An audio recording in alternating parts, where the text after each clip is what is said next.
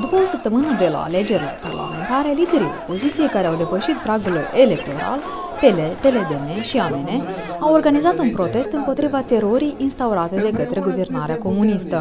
Ei au cerut eliberarea tinerilor nevinovați, arestați și bătuți în comisariatele de poliție pentru presupusele acțiuni violente din partea acestora, eliminarea regimului de vize dintre Republica Moldova și România, accesul la listele electorale și repetarea alegerilor.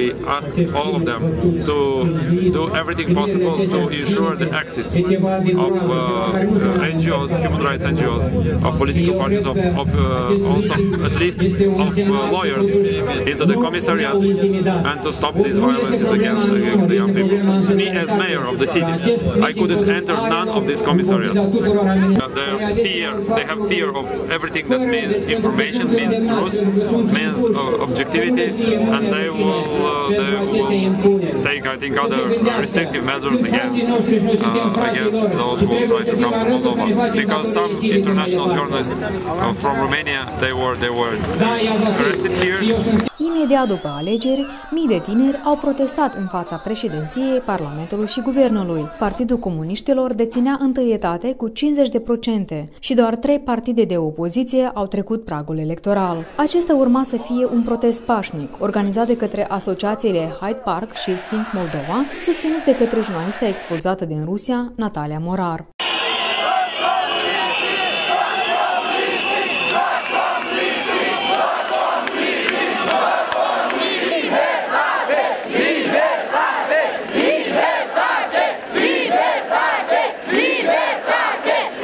Următoarea zi, pe 7 aprilie, un grup de sute de tineri au devastat atât clădirea președinției cât și a Parlamentului.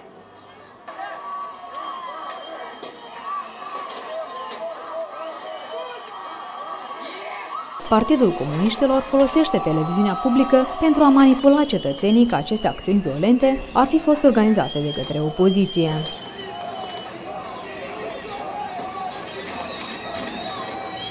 Liderii opoziției dezmint informațiile, precum că ei ar fi autorii acestui scenariu și învinuiesc comuniștii de organizarea unui plan diabolic de răsturnare a statului prin care au fost folosiți nimeni altcineva decât tinerii. Trebuie să salvăm pe cei tineri care stau în poliție și trebuie să salvăm acea generație care nu vrea să trăiască în comunism și a venit aici în piață. Să ne unim! Să fac ce a făcut cu ei. Noi oricum o să găsim acești copii, tovarăși Voronin. Și noi să avem dovezi pentru ca să vă condamnăm. Am fost printre tineri, am fost printre petre și am văzut fața adevăraților organizatori și fața executorilor care au folosit cinic copiii noștri ca scut pentru a-și duce la bun sfârșit planul lor. And they were escorted, they were uh, followed by policemen, protected by those, those policemen. And the same persons to, to climb on the presidency and the parliament at the same time on the same day, that's, that's quite strange. There are a lot of technical possibilities that uh, modern police could use in order to stop any violent groups.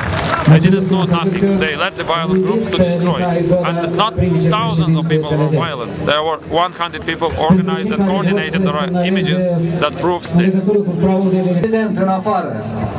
Am cerut acea anchetă internațională pentru a demasca adevărații organizatori, adevărații executanți, pentru a avea posibilitate ca să avem pentru viitor o viață având și răspunsuri asupra acestor evenimente.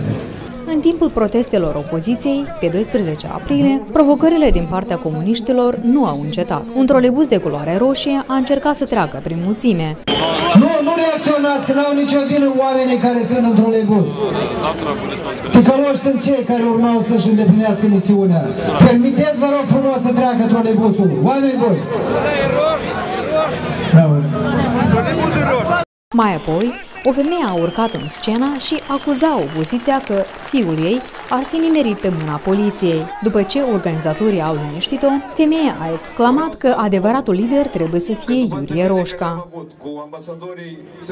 Abia după sărbătorile de Paști, cetățenii vor cunoaște fraudele comise în timpul alegerilor, voturile fiind renumărate, iar accesul la listele electorale așa și nu a fost facilitat de către Comisia Electorală Centrală printr-o decizie a Curții de Apel.